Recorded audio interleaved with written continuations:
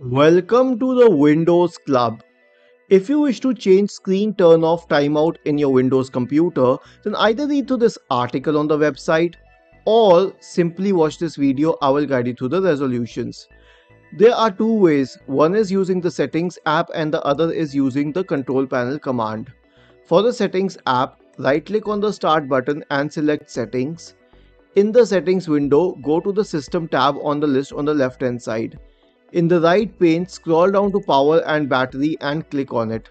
Scroll down a little and you'll find the screen and sleep option. Click on it.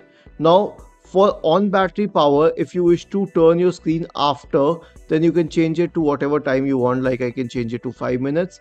And for plugged in, you can also change it. Like I can change it to 20 minutes.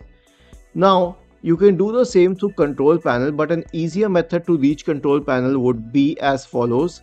Press the Windows key and the R button together to open the run window. In the run window, type the command power cfg.cpl and hit enter to open the power options window. In the power options window, corresponding to the current plan, click on change plan settings. Now you'll find this option to turn off the display you can change it to anything depending upon your choice for both the on battery and plugged in modes but observe one thing we just made changes to the settings window and the changes have been replicated here like 5 minutes and 20 minutes and I can change it to anything else.